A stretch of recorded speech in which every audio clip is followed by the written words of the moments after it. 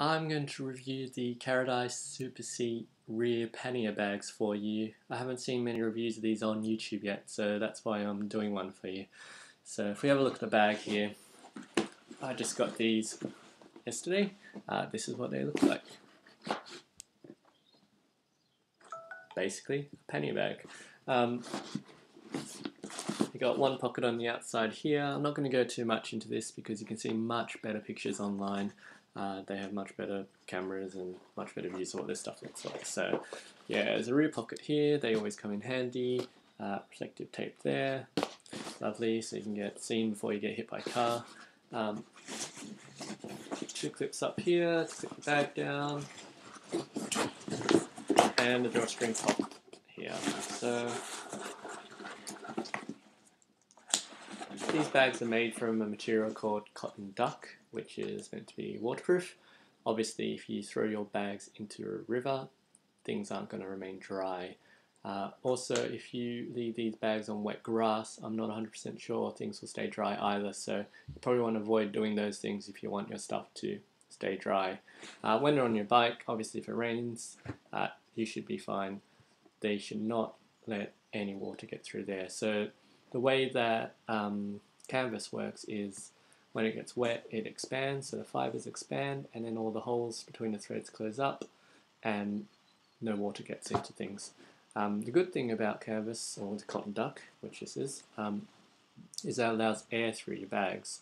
So if you put hot, sweaty stuff or smelly stuff in your bag in the morning, by the end of a hot day's ride, when you op open that bag, you are going to get gassed if your bags do not breathe. So that's the uh, libs really. Um, hopefully this cotton duck will stop that from happening to me. I haven't used these yet, so we'll let you know how that goes. These bags have these straps up here too, so you can use these straps to attach your jumpers, picnic blankets, tents to the top of your bag, which is nice. Um, has said you can use them as shoulder straps. I don't think it's like a shoulder strap like a backpack. I may be wrong, but Carradice will need to tell us if you can do that. I haven't seen anything of it, but I think the way you'll be carrying these is by using this as a shoulder strap and whipping it through there or by just in your hand normally. But when you've got about 10 kilos in your pannier bags, it's not that great to be carrying stuff around in your hands. So looping over your shoulders like this feels quite comfortable and I think that'll be quite doable. Right, so onto the uh, hook system. So this is the Carradice hook system. There we go. Um, these are a little different from what I saw in the shop. So I think the shop ones I saw were an older model. And what we had here is they had little grey toggles that would click onto your, your rack. Um, what they have now is this big red one. So basically you drop your pannier bag onto your rack and then when you want to get it off you push that in and you can lift it off.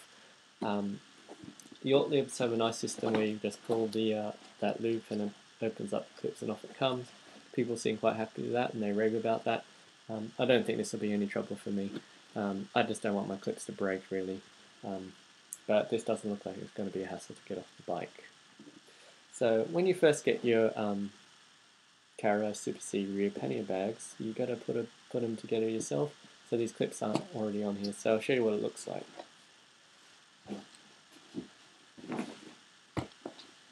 When you first get it, it is like this uh, just that big red cam clip there. And what you need to do is you need to get one of your hooks and you need to slide it into the metal bar like so. Um, it's fairly easy. Obviously you're not going to be able to do it if you're probably under 8 years old, um, but most grown adults should be able to do this. Uh, if you can't, I wouldn't recommend you go cycling. Um, this side's obviously a little harder because the material's there, but a bit of fiddling and you'll get it on.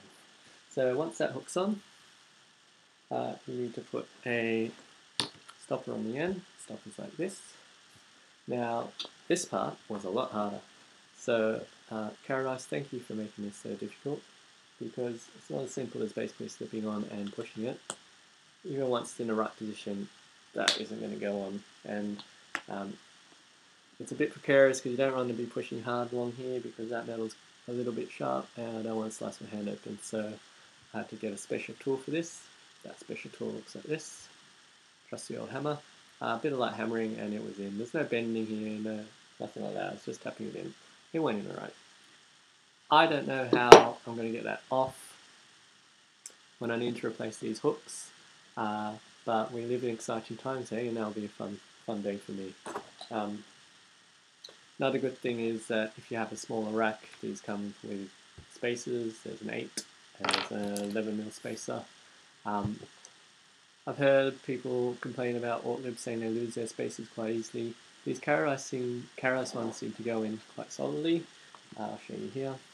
You can see I shove them up in there, and these are pretty in there. Um, show you me taking them out because I don't need them, but they take a bit of effort to get out.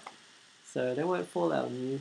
They might come out if you're not paying attention, but they don't seem that easy to get out. So again, there's nothing holding them in place, but they just won't fall out if you take the bag off the bike, um, unless they get stuck on your rack and then cut them up.